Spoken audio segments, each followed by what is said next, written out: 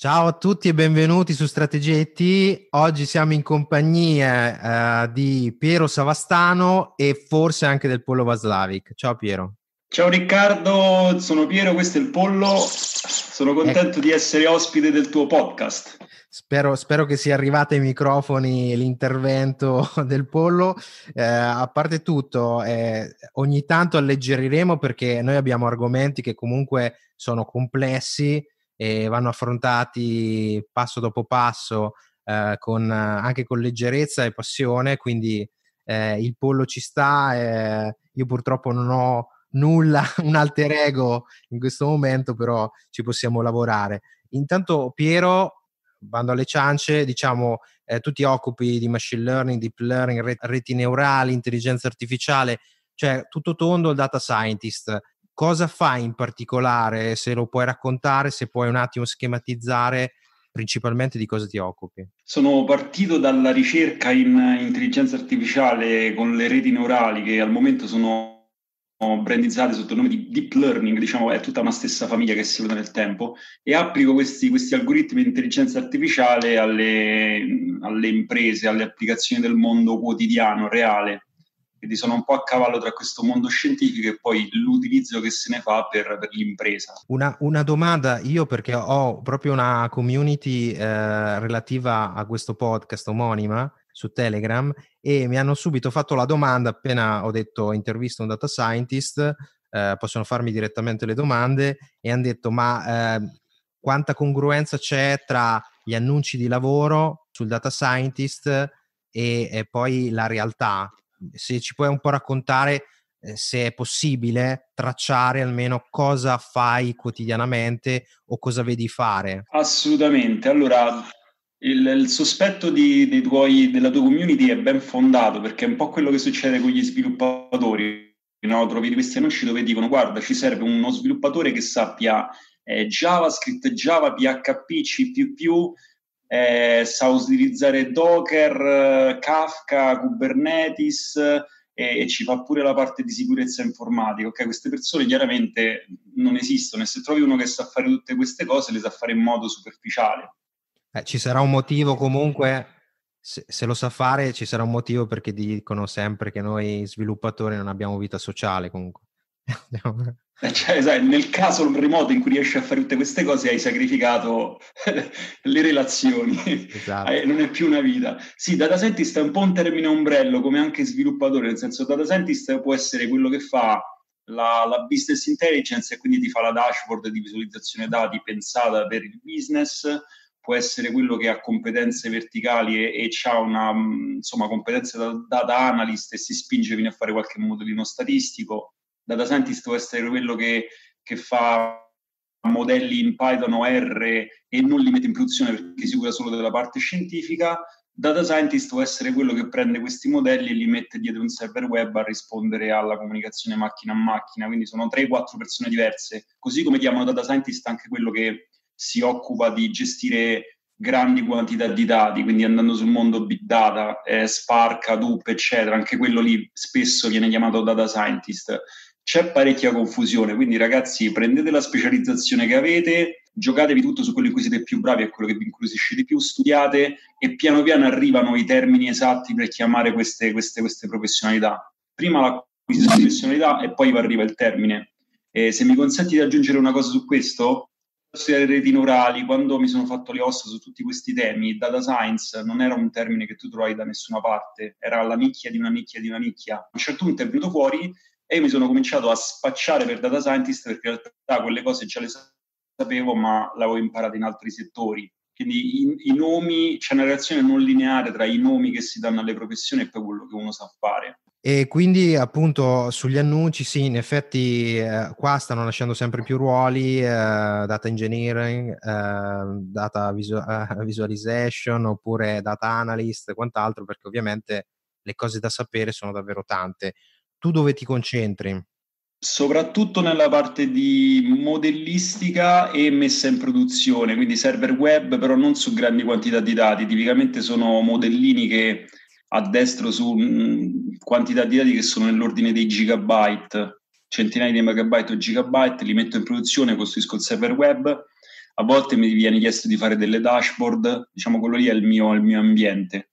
E qui già ho, ho, due domande. Una è se ho una startup o ho pochi dati storici, oppure adesso ad esempio con la pandemia, col Covid, che non hai i dati storici, ti senti di, di fare un lavoro a monte prima? Come ti comporti se ti arriva una startup e dice non abbiamo dati storici, ma dobbiamo incominciare a, a prevedere e a modellare qualcosa. Sì, sì, si dovrebbe partire subito con una strategia di raccolta dati che sia rispettosa della legge ma che sia più ampia e profonda possibile. Registrare i dati non fa mai male, anche se poi il 90% li butti, perché di base in anticipo raramente sai che cosa poi ti servirà dei dati, quindi tanto più raccogli, ripeto, in ampiezza e in profondità, meglio è. Se poi vuoi fare una, una modellistica con pochissimi dati, ti puoi inventare qualcosa, magari scrivi degli algoritmi a mano, oppure fai, fai, una proiezione lineare, fai delle cose diciamo più semplici, così intanto puoi costruire dei, degli MVP, dei prototipi e poi man mano che arrivano i dati aggiusti il tiro. Sicuramente qualcosa ci si può inventare. E, e la, la, tua giornata, prima ti avevo interrotto anche eh, la giornata tipica di un data scientist, perché tu parli adesso di modelli, di predizioni, ovviamente però immagino nel tuo canale YouTube che hai eh, cerchi di partire dalle basi per far capire cosa intendi, ma se poi a grandi linee parlarne così eh, chi si occupa di business capisce anche quali ricadute eh, c'è in, questo, in questa attività e come si svolge. Sì, ci sono tutta una serie di casi d'uso in cui i dati che sono stati raccolti a livello aziendale, che spesso sono frammentati, stanno in database diversi, ci sono dei, dei stakeholders e non li vogliono rilasciare, comunque c'è tutta una politica anche dietro. I dati che vengono raccolti a livello aziendale, se aggregati e analizzati, sia con le statistiche descrittive, sia facendo grafici, sia facendo predittori, possono essere utilizzati per produrre valore. E questo valore lo si vede tutti i giorni nelle applicazioni che usiamo tramite web, raccomandazioni su Amazon, quello è un'applicazione del machine learning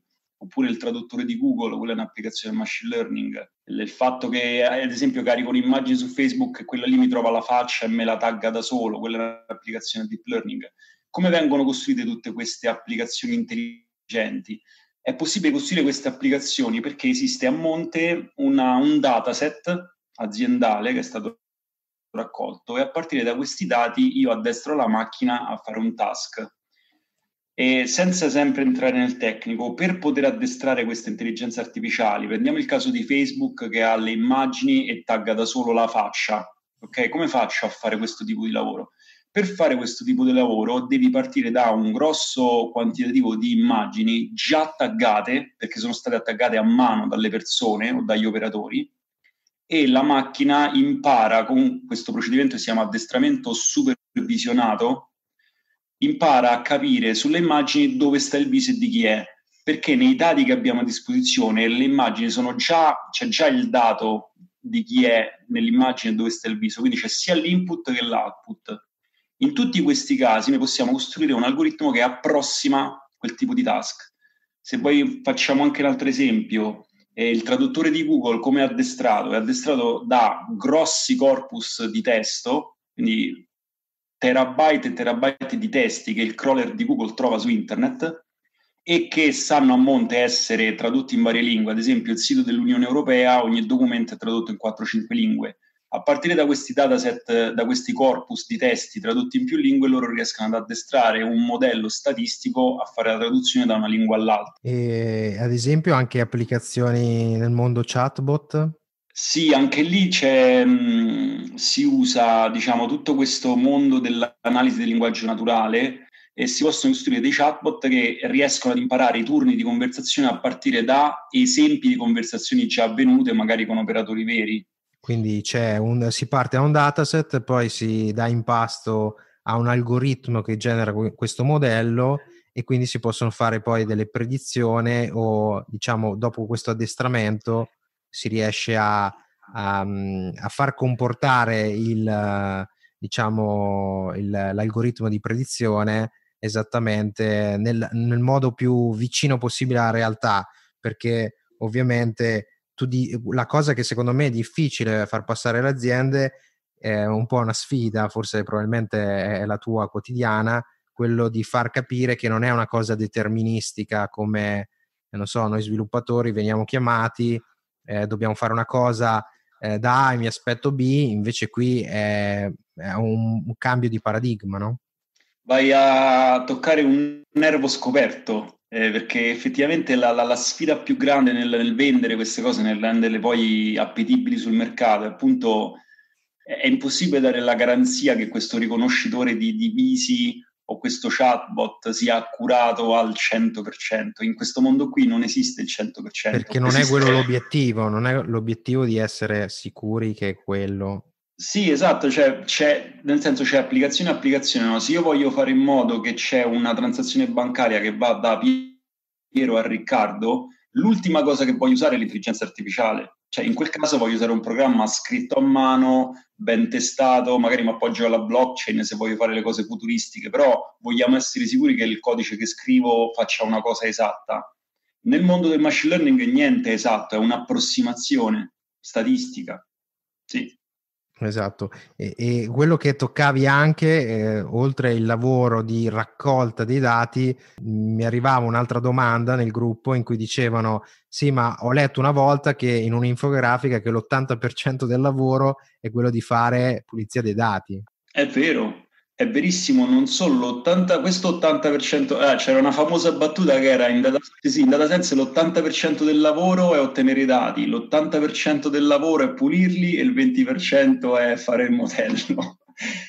Comunque c'è una grossa fatica a monte, tra l'altro non lo diciamo noi, diciamo data scientist eh, di livello nazionali, diciamo, lo dicono anche i vari Google, Amazon, eccetera. Se ti vai a vedere quello che dicono alle, alle conferenze internazionali di data science, quello che dicono tutti e Google, Google in primis, che al momento è l'eccellenza dell'intelligenza artificiale, che, che se ne dica, sono in assoluto i primi al mondo, eh, quello che loro dicono è dobbiamo migliorare gli strumenti di raccolta perché è lì che si perde più tempo. E, un progetto di machine learning, deep learning, AI, quello che sia, è fatto per buon 80% sì, di, di preparazione e raccolta dati, assolutamente sì. Senti Piero, eh, una parte importante del tuo lavoro, eh, oltre che la consulenza, è soprattutto la formazione.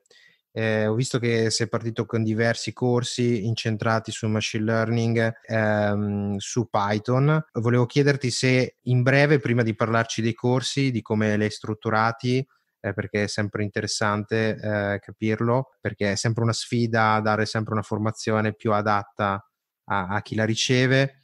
Eh, la differenza tra machine learning, deep learning, reti neurali, perché tu parli di vari aspetti, eh, però c'è credo un po' di confusione per chi non è proprio del settore.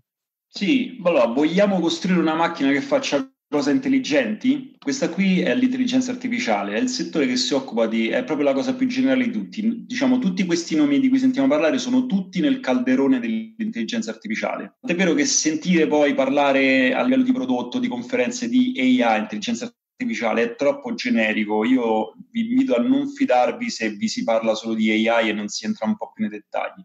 All'interno di questo calderone dell'intelligenza artificiale, eh, che si sviluppa da più di un secolo, all'interno troviamo diversi approcci. Tra questi approcci ce n'è uno che si chiama machine learning, in italiano apprendimento automatico, e questo qui è un settore specifico all'interno dell'intelligenza artificiale in cui si cerca di addestrare le macchine a fare cose intelligenti a partire da dati. Quindi in modo specifico, se io utilizzo i dati per costruire questa macchina intelligente, allora sto parlando di machine learning. Deep learning è un ulteriore sottoinsieme del machine learning in cui questo apprendimento fatto a partire dai dati, così come le conversazioni dei chatbot le immagini di Facebook di cui parlavamo prima, questi sono i dati, sono gli esempi che noi forniamo alla macchina. Il deep learning è una forma di machine learning in cui eh, questo meccanismo di apprendimento simula il modo in cui apprendiamo noi, simula il tessuto nervoso in un modo molto semplificato. Eh, quindi abbiamo neuroni e strati di neuroni che si scambiano segnali tra di loro e ci sono delle leggi che ne governano l'apprendimento. È una simulazione del, del cervello, diciamo.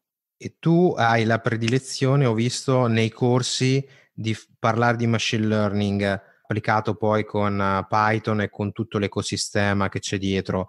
Come lo hai pensato? Hai in testa il percorso che deve fare un data scientist? Perché molti eh, lo chiedono e vorrei capire eh, se tu ti sei fatto una chiara idea da questo punto di vista.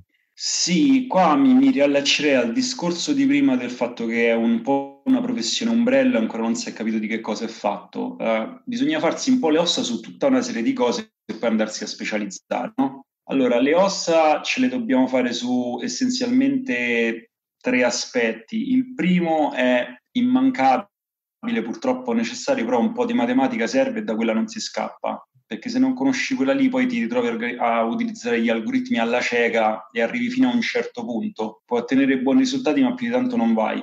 E la matematica da vedere è algebra lineare, quindi vettori, matrici, operazioni con, di questo tipo su spazi a tante dimensioni, eh, la probabilità, probabilità condizionata, distribuzioni, ottimizzazioni eh, e la, um, il calcolo, quello infinitesimale, quindi le derivate, i gradienti, la discesa del gradiente, capite queste cose qua, diciamo, hai, hai la maggior parte delle armi nel, nel, tuo arsenale e più a fondo di così, secondo me, neanche serve.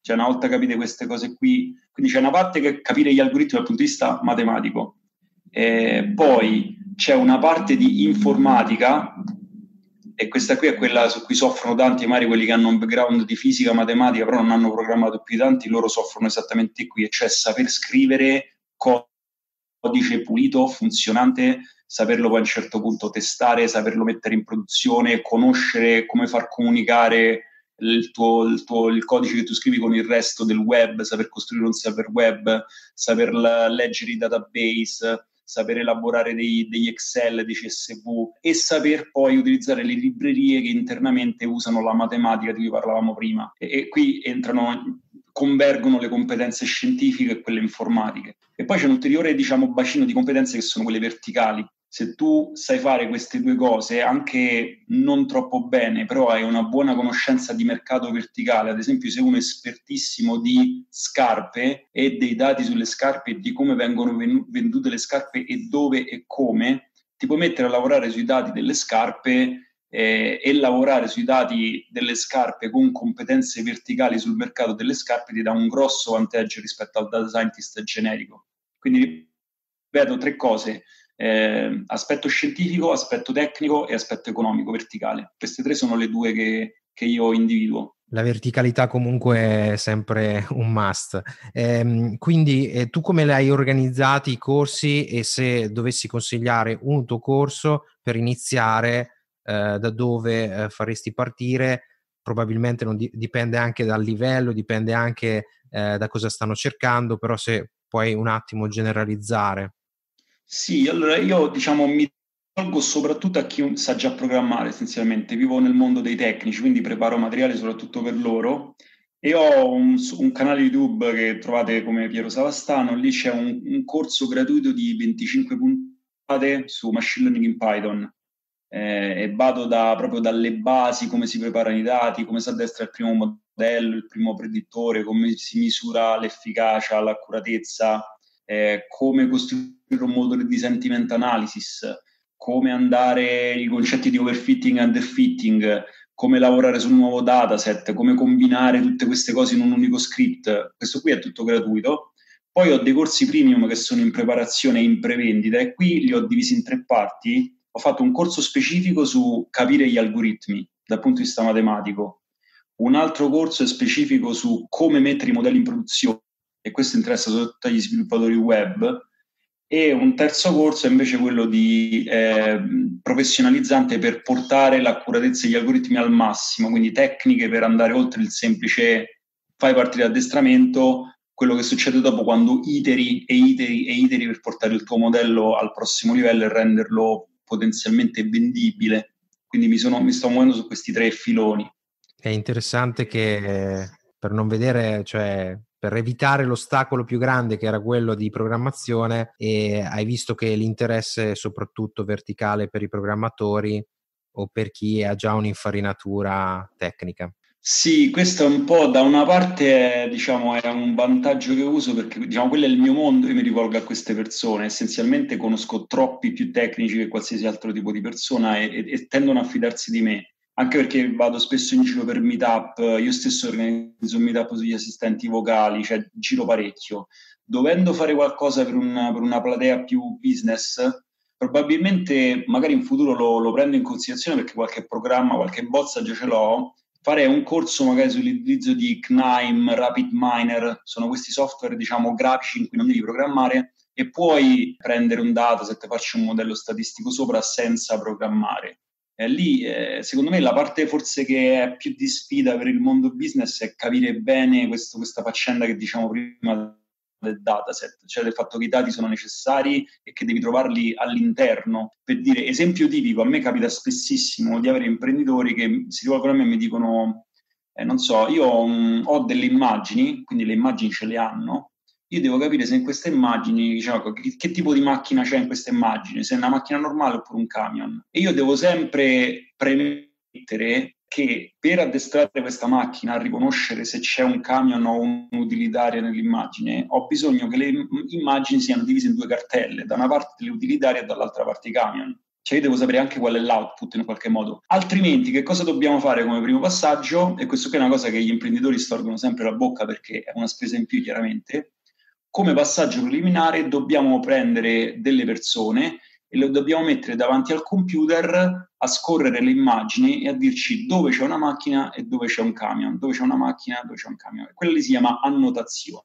Peggio quasi del data entry. Sì, sì, è proprio, è proprio, è proprio data entry. Proprio data entry. Eh, sì, è come un data entry, devi mettere una persona apposita. Quindi le sfide più grandi per le aziende eh, che tu riconosci oltre che entrare in questo mondo, quindi capirne le potenzialità, che anche tu fai opera di, diciamo, di alfabetizzazione, che non è mai bello, dicono nel business, essere in una fase in cui le persone devono prima capire eh, cosa ci possono fare, perché se fai il pioniere, dopo dieci anni forse capiscono, ma sarebbe troppo tardi anche capire. Sì, sì, è vero, è vero. Non, non hai quel vantaggio. Quindi quale tipologie di aziende vedi che sono più consapevoli o più attente o hanno proprio l'esigenza di... Sì, allora il mondo dell'informatica, eh, delle software house, agenzie web, questi qui ci si cominciano a avvicinare velocissimamente a questo mondo perché loro già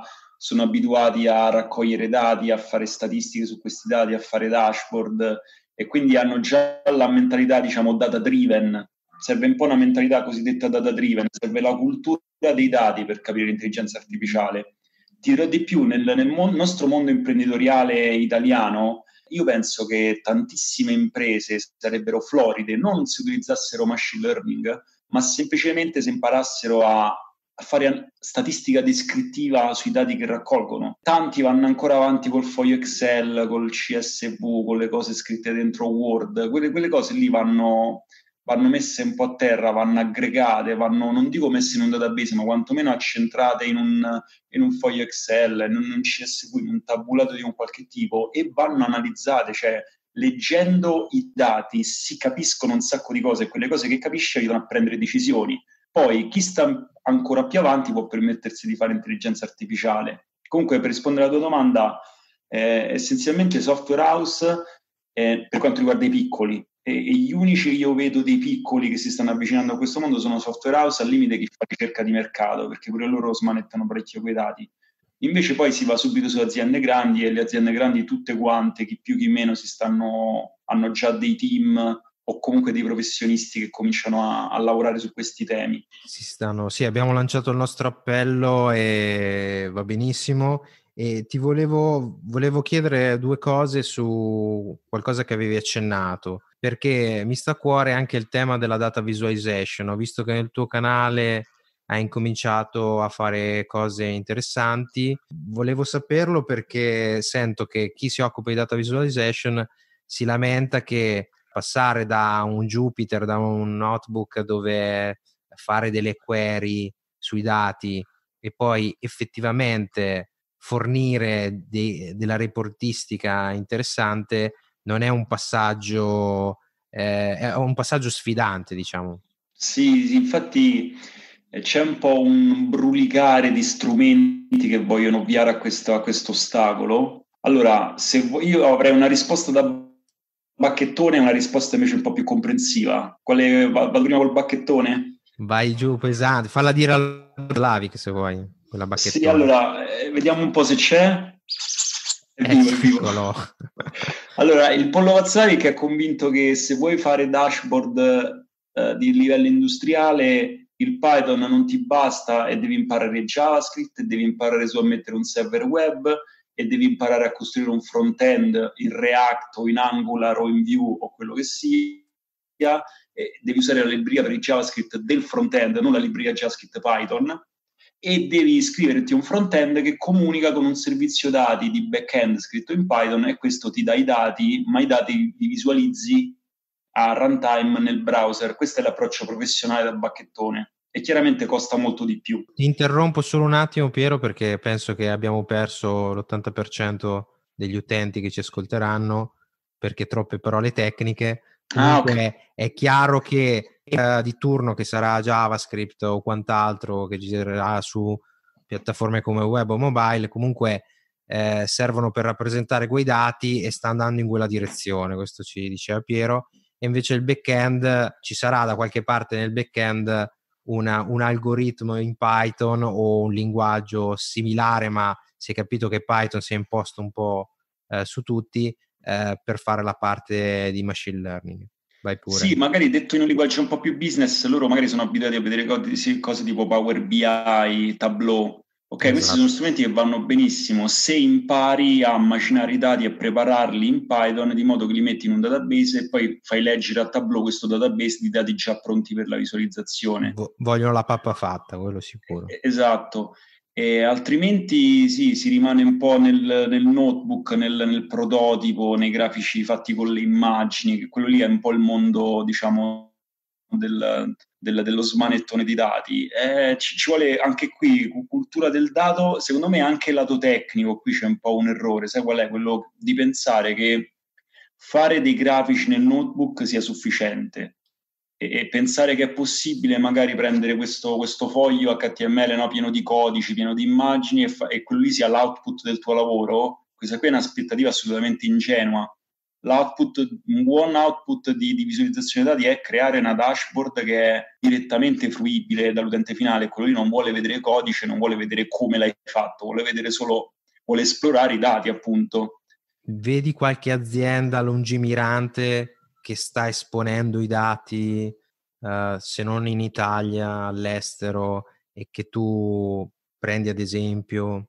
Ci, ci sono eh, due organizzazioni in particolare che sono parzialmente sovrapposte, che io seguo da tempo e con cui collaboro, sono Data Ninja e Ondata, che sono rispettivamente una compagnia che si sta specializzando sulla visualizzazione dati e che non è fatta solo di tecnici, ma anche di giornalisti, di, di, di persone che a fare storytelling, di designer, quindi hanno un approccio necessariamente tecnico, diciamo tecnico nel cuore, ma non tecnico nell'esporre il loro prodotto all'esterno. Quindi secondo me loro hanno, hanno hanno proprio capito come va fatto questo.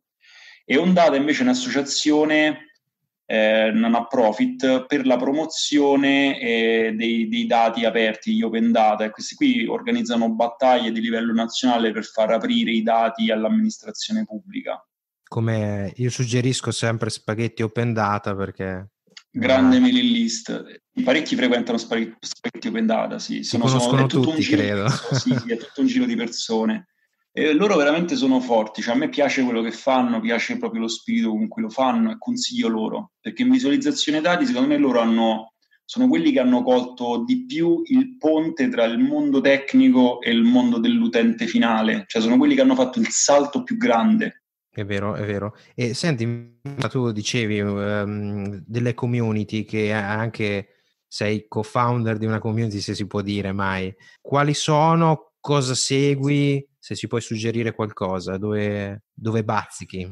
Allora, le community che, che, frequento di più sono quelle, diciamo, del, del mondo dei meetup romani di tecnologia. E in particolare mi sono affezionato a Roma.js, sviluppatore di JavaScript, il, il meetup su WordPress, il meetup su, sui grafi, il meetup di Python mi piace tantissimo. E io stesso organizzo un meetup, quindi un incontro mensile gratuito sugli assistenti vocali. Alexa, Google Assistant e compagnia cantante. C'è in ogni città d'Italia, oltre una certa dimensione, quindi parliamo di Roma, Bologna, Firenze, Milano, Napoli, quindi le, le città principali, c'è un giro di, di, di, community tecnologiche e c'è anche un po' di movimento sulle conferenze nazionali. consiglio ai ragazzi che si stanno formando, che vogliono cercare lavoro, se voi frequentate queste community è molto facile trovare lavoro, soprattutto se siete già capaci a fare qualcosa, se, se siete già un minimo specializzati in una qualche tecnologia. Lì trovate persone preparate che si aggiornano continuamente, vi fate vedere, fate magari qualche presentazione, raccontate una delle vostre esperienze, qualcuno vi nota, vi coinvolge, vi si allarga il network, a un certo punto l'offerta di lavoro arriva, matematico. E poi ovviamente seguire il canale di Piero perché è molto interessante, eh, dove tu saluti sempre con ciao intelligenze naturali. Da dove è nato questo saluto? Intelligenze naturali, sì, col polo Slavic, ecco qua. Intelligenza artificiale, dal... immagino, no? Sì, sì, sì, sì, perché mi ricordo tra i corsi che seguivo all'università c'era, c'era una professoressa che ricorderò sempre, si chiama Olivetti, Olivetti Belardinelli, e questa professoressa eh, spesso nel suo parlare menzionava spesso, spesso le intelligenze naturali e le intelligenze artificiali e questo suo modo di distinguere a volte di confonderle che a me disorientava. Poi a un certo punto ho capito perché se uno passa la vita a studiare eh, la psicologia e l'intelligenza artificiale e comincia a vedere sia delle somiglianze tra come siamo fatti noi e come sono fatte le macchine sia delle grosse differenze e, e mi piace proprio il termine intelligenze naturali perché eh, dà per scontato che non siano le uniche intelligenze esistenti Ah, bello, non, questa chiave di lettura non, non, l'avevo vista, non l'avevo afferrata. E se ho fatto bene a chiedertelo, lo dici data scientist e anche public speaker. Perché ci hai tenuto ad aggiungerlo nel, nel tuo titolo? Perché grossa parte del mio, diciamo, sforzo professionale è, divulgativo, è di formazione e per spingere questa attività partecipo a un sacco di eventi, a conferenze, al lato da una decina d'anni studio anche improvvisazione teatrale e quindi cerco, di, di, di, cerco per quanto possibile di rendere queste cose divertenti come ponendomi di fronte a gruppi di persone e raccontandogli questo mondo dell'intelligenza artificiale in un modo che sia fruibile e divertente, che è un po' quello che stai facendo anche tu con questo podcast. No? Noi ci, ci mettiamo un po' la faccia e mettendoci la faccia speriamo che qualcuno capisca qualcosa in più, ci contatti, si crei un po' un movimento e questo è il motivo per cui sì. Senti, eh, invece parliamo di YouTube, il tuo canale sta riscuotendo abbastanza successo e volevo sapere tu eh, cosa ne pensi e soprattutto cosa ne pensa anche il pollo perché vedo che eh, si trova bene. Il pollo Slavica che è sempre in ascolto. Allora, che rapporto ho con YouTube? È successo che durante i primi anni da, da professionista io avevo l'esigenza, come ogni freelance, di farmi pubblicità e farmi conoscere. E una delle prime strategie che ho trovato è appunto fare networking. L'altra strategia è stata inizialmente quella di mettere magari annunci pubblicitari e ho realizzato che non funziona funzionava granché. Allora mi sono chiesto, ma io quando cerco aiuto su qualche tema di tecnologia, voglio imparare qualcosa di nuovo, che cosa faccio? E mi sono risposto, o vado su YouTube e cerco qualcuno che ha fatto un tutorial, oppure cerco un qualche post su blog. E quindi, siccome delle due mi dava più, molto più gusto, pur essendo molto più faticoso, fare video, mi sono messo a fare video. E li ho messi su, su web. Questa qui è una strategia di, di content marketing. Metto contenuti su web e faccio in modo che siano utili a qualcuno e il ritorno che ho è essenzialmente di divisibilità, visibilità che è fatta senza intermediari, eh, se non YouTube appunto, però come intermediario chiede veramente poco. E poi sulla base di questo poi costruisco servizi, prodotti. Eh, per quanto riguarda Twitch mi interessa molto vedere come, come si evolve Twitch. Eh, ho, ho, ho, delle idee, ho delle idee e non, non, so diciamo è rischioso perché è presto, però proprio perché è presto magari poi rende parecchio. Vediamo, mi, mi piacerebbe fare delle, delle dirette Twitch magari e fare del live coding di, di algoritmi scritti da zero, questo in anteprima. Mm, devo vedere se qualcuno mi segue in questa pazzia. Potrebbe, potrebbe essere anche interessante eh, con il tema community eh, farle direttamente su Twitch. Io ad esempio ho visto delle community come serverless uh, che è presente su Twitch e anche perché potrebbe essere un'idea per uh, mantenere viva una community attraverso la subscription su Twitch e quindi mantenerla in vita e sostenerla. eh, per qualche euro o dollaro al mese eh, ne varrebbe la pena. Insomma. Ah, posso fare una domanda a te io, se è possibile fare una domanda al, al, al podcaster? No, il, il, il, il, podcast, cioè a me incuriosisce molto il podcast perché vedo che è un ambiente a parte ricco, cresce una velocità assurda, cioè come stai trovando nel, nel podcast business, cioè nella tua, nella tua, nel tuo sforzo come... Eh? Beh, quando io ho iniziato il podcast era eh, che avevo la necessità di fare eh, una um, content marketing, eh, allo stesso tempo inbound marketing o comunque networking e mm, c'è la possibilità di scegliere scrivere, eh, fare video o usare la propria voce, eh, questa mi, mi risultava in apparenza la strada più, eh, più semplice e diretta e mm, che creava più coinvolgimento e mm, rimane comunque il podcasting fino a qualche anno fa era ancora agli albori, almeno in Italia, e ancora ad oggi rimane comunque una soluzione di nicchia, tant'è vero che eh, molti poi eh, si indirizzano verso YouTube oppure verso... Eh, hanno scoperto anche Twitch come soluzione. Comunque rimane il fatto che è un ottimo mezzo eh, per, ehm, per fare in modo che le persone ti ascoltino dall'inizio alla fine comunque richiede come ogni eh, progetto editoriale o comunque eh, di contenuto, di produzione di contenuto, eh, richiede un certo effort, un certo impegno eh, profuso nel tempo. Sì, vanno progettati. Non lo so se, ad esempio nel tuo caso che è molto la componente visiva non solo ti viene bene, è molto importante quanto eh, premi il podcast non lo so, questo è, rivolgo a te la domanda. Eh, allora, per quanto riguarda i video, sì, eh, ah, intanto concordo pienamente sull'aspetto di quanto è poi complicato, perché quando uno lo fruisce vedi direttamente quei 5-10 minuti di video, di podcast, quello che sia, si li gode, è contento, eh, se è particolarmente contento lo condivide, lo commenta, però dietro c'è un lavoro a parte di progettazione, ma anche poi di, di, di, di strategia, di quello che devi fare e, e poi farlo è un, è, un, è un, percorso a sé perché ti devi, appunto io vedo che adesso hai un microfono comunque di un certo tipo, te lo sei dovuto procurare, non è, è che... È di cartone, di cartone, ma... non è che uno si improvvisa poi... Eh, c'è, c'è, un'attrezzatura, c'è una progettazione, c'è una realizzazione, poi c'è la parte di diffusione di questi contenuti che non è trascurabile, cioè è tosta.